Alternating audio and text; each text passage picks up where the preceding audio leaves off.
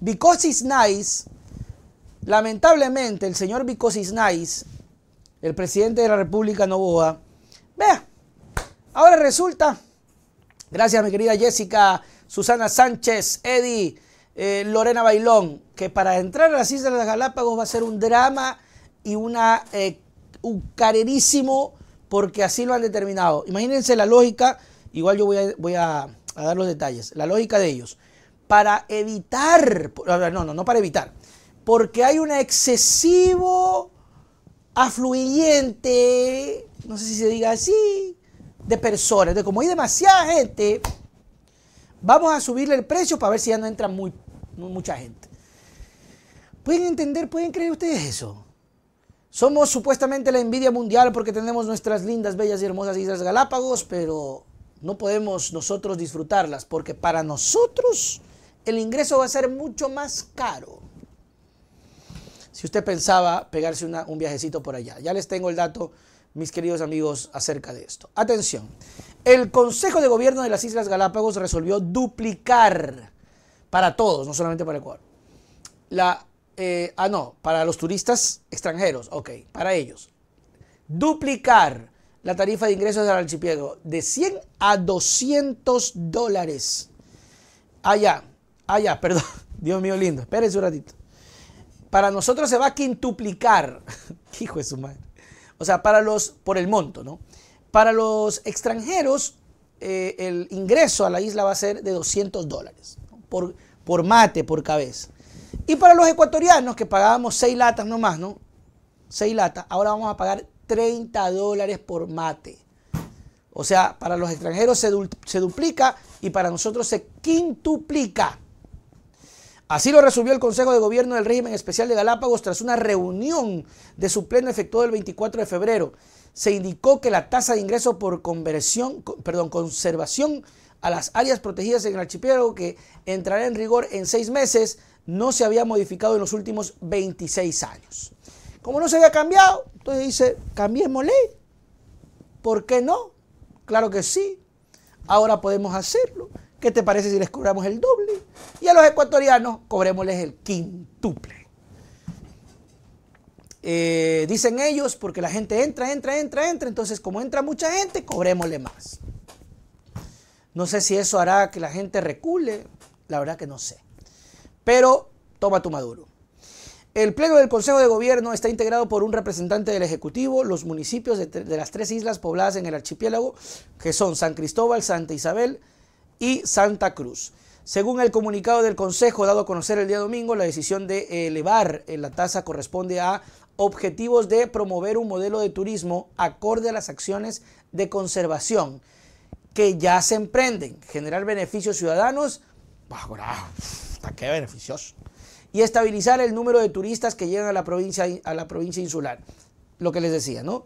Es decir, regular el flujo de eh, extranjeros. Yo, sinceramente, mm, eh, la lógica mía, en mi tonto pensar, siempre he creído que más bien mientras más gente llega es mejor, ¿verdad? Eh, no sé. Pues parece que esto no les gusta mucho o les fastidia que todo el mundo tenga interés, entonces pongámosle un costo más elevado porque tanto interés tienen en llegar a las islas. No, sé qué tanto sea impacto en el turismo o cómo eh, se vea reflejado eso en, el, en la asistencia, pero en términos criollos quieren evitar que la gente entre. Entra mucha gente, súbele para que no entre mucha gente. Punto. Porque aquí dice clarito, estabilizar el número de turistas que llegan a Galápagos.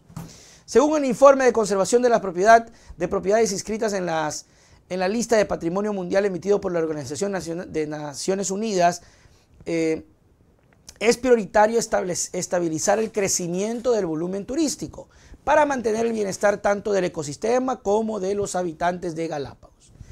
El objetivo de la estrategia es promover un turismo enfocado en la sostenibilidad y capacidad de dinamizar la economía local, gracias a las maravillas naturales que ofrecen las islas únicas en el mundo.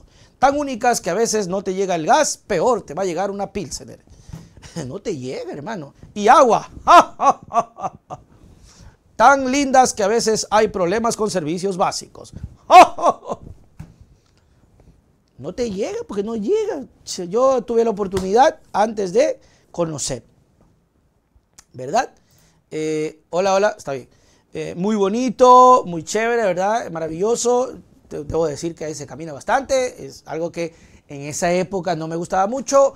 Ahora tengo ya otras, otras perspectivas de la actividad física que, pues podría decir, pues hagámosle, ¿no? Hagámosle. Eh, obviamente es, es, un tema que si tú crees que vas a ir a la, a la, isla con una biela así, ¡Woo! ¡Ahora el lobo marino! ¡Chupa! ¡Woo! No, no puedes.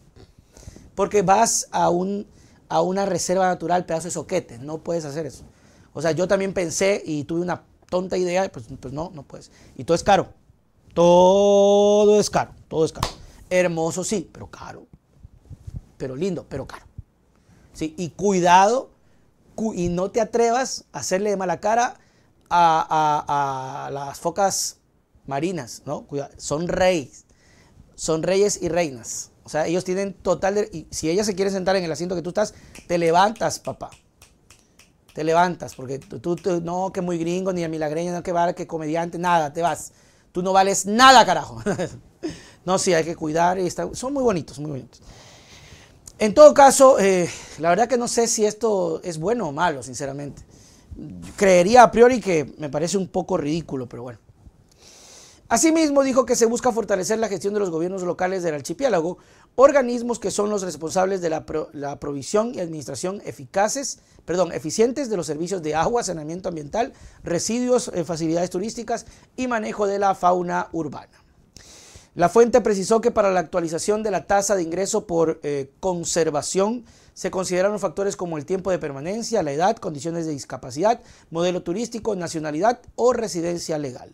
Aseguró que el gobierno nacional promueve una gestión ambiental, turística y económica enfocada en motivar el desarrollo y el equilibrio de las islas, reconocidas por la UNESCO como Patrimonio de la Humanidad. Ahí está. Bueno, ¿qué piensan ustedes? Se acabó. Yo pienso